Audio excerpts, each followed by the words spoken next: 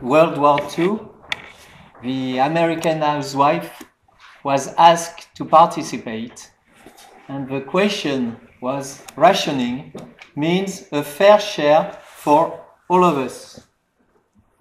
That's, what was the question? And so, to share what? To share vital goods.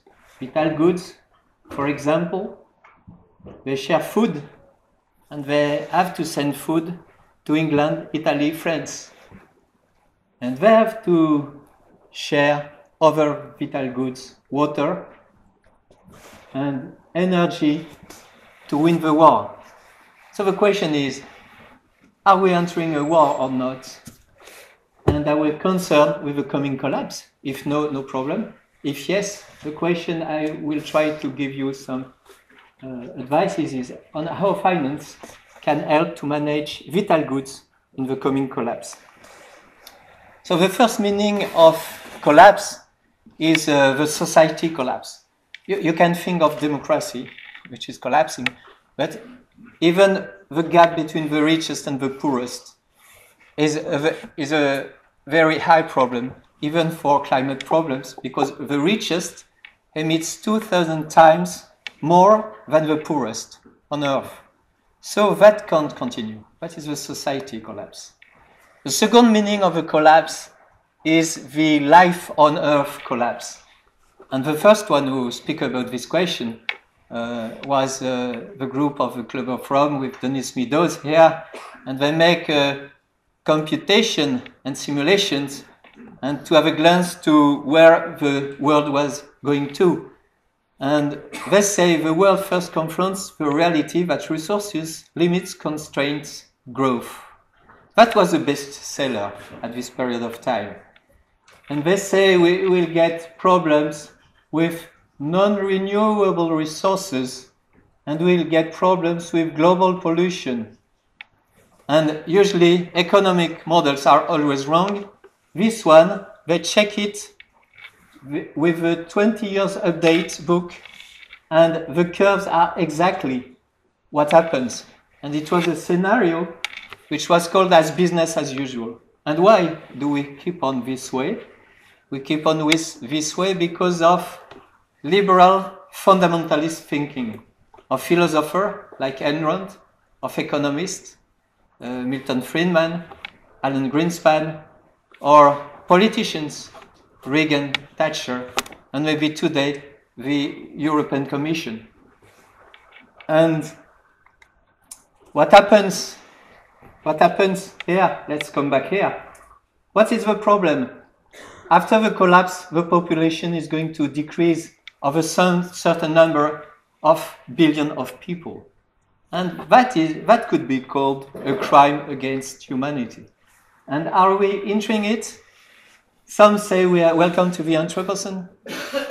and even Dennis Meadows, which worked on this book uh, in 1970, says it's too late for sustainable development. So what we try to, to do for the climate, which is a collapse of both society and life, are collapsing together with the climate. Here is greenhouse gas emissions from the past, and here is what we decide at the COP21 agreement, Conference of Party. It's the Red Star. We decide in 2030 to go up here. And what we should do to be in line with what was presented as the two degree target, we should decrease by 5% every year. That's not at all the case. And it's probably out of control. So, in a collapse, what is vital becomes scarce. And you can think of social vital goods, health, education, and the fact that everybody is going to participate to society. And this becomes scarce and collapse because of disorders of our unequal societies. In a collapse, what is vital becomes scarce too because of ecological vital goods. And we can think of species, food, air, water, energy. And the climate is at the heart because it can impact all those ecological vital food.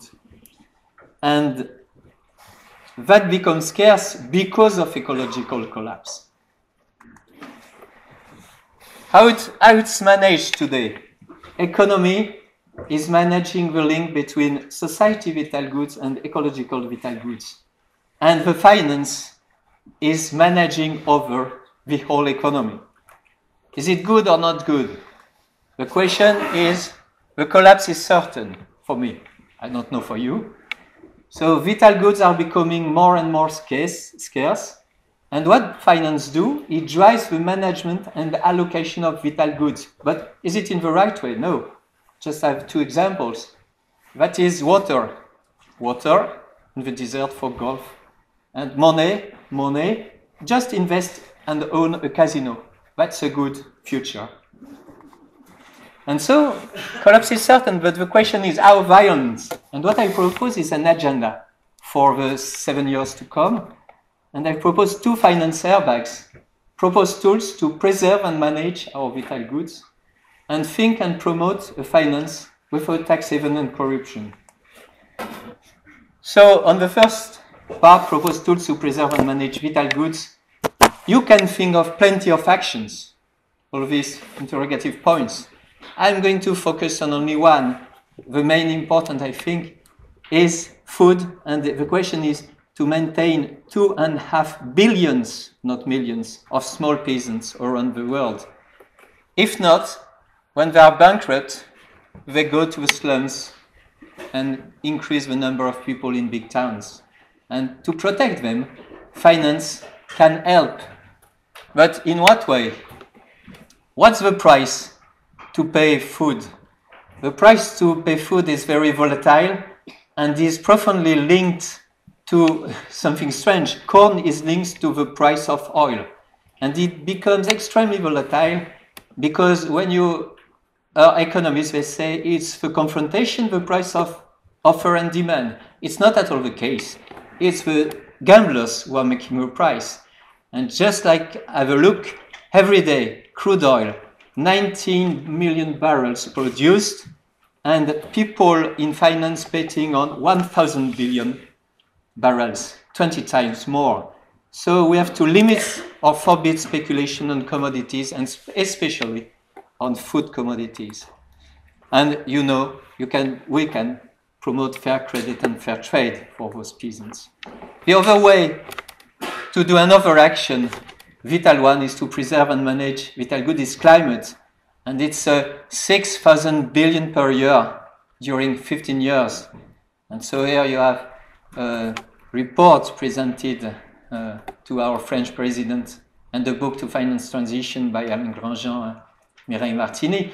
And they propose, among the tools, a progressive carbon taxation up to 80 euro per ton. But the question is to promote ecological transition, the first part. But which ecological transition? We have tried plenty of things and nothing was okay because the target of 2 degree is really difficult to attain. If we want to attain the 2 degree target, we have to be in this line at minus 5% of emission. And we have never been here only two times, the 1929 crisis and the World War II. So Technology without reduction of consumption has never worked. And let us try something else that could be decrease of consumption and better equality and low-tech technology for all. So there are some tools to do that. And for example, in finance, to help for climate, there, there are portfolio allocation strategy to invest in firms that could be in line with 2 degree. And for example, Carbone 4 is a firm that proposes this. If you take all the, all the firms, you are going to reach a 4 degrees target. If you select and pick up your firms, you can go to a 2 degree target. What you have to, what we have to do is to go to ecological pension funds that could help, and this case is the Norwegian government funds. And they, in 2006, they proposed to eliminate 49 firms that were in shale oils and coal. The other thing we have spoken a lot here is about green quantitative easing and promote it through private bank or state-owned banks but to finance green energy, green transportation, green energy saving through or directly or through green bonds. It doesn't import. We have to oppose to privatization of vital goods. That's fundamental and ethical funds that do plenty of different business. Maybe they could agree together on a compulsory, chart that could say, for example, the fund by vital goods for transforming them in common goods managed by communities on long term. And you have other specification, but I was told I have no time to keep on and explain you all that we can do in this chart.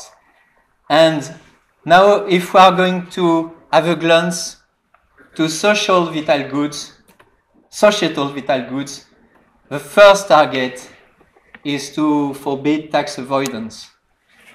That's the main problem today for societies, no money for the states. And we have to keep on working together to do this. And we, we should blacklist banks and firms condemned for money laundering. That's not the case. Most of the time we invest in firms that they were blacklist, no blacklist, but they do plenty of money laundering. So how finance can help to manage vital goods in the coming collapse? We can't reach the goal if we don't work together. So that's the concept of Ostrom. They say always work together, and it's difficult because we have own interests, every of us. And we have to define a common agenda to create convivial tools in finance in the sense of Ivan Illich for convivial, and to regulate with a consensus attitude so that is to say, not to be too integrist and to say, well, okay, choosing the set of rules so that most of us can say, I can live with. And we can reach the goal and smooth the collapse without embarking a maximum number of actors. That's the most important thing. The maximum number of actors. If we go back to two targets, or two targets, first targets, manage vital goods, we have to think of a community of financial experts. And we have to join Finance Watch, AFEP, the Association for Another Economy, uh, Finance et Bien Commun, Finance and Sustainability. We have to make, to work together. Civil society and ONG, you can think of plenty of them. It's why there are plenty of interrogative points. It's together what we can construct this. And state servants, and we have not to forget religion aspects. For example, Hindus. Hindus are very concerned with space size on Earth. And so we can address them and they can help them and they do plenty of things. So we have to address Muslims. Muslims are concerned with creation, with nature, protection of nature. So we have to work together for all those communities. And for example, I do something with stop, stop tax avoidance and you can try and add new participants.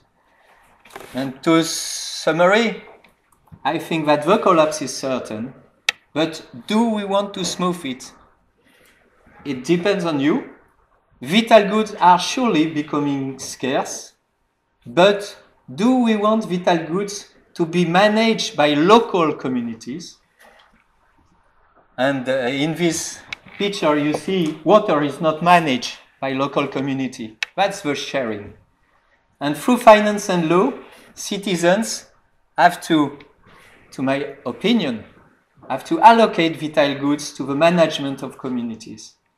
And second aspect, which is very important, boost the transition in order to preserve those vital goods of tomorrow. Thanks. Thank you.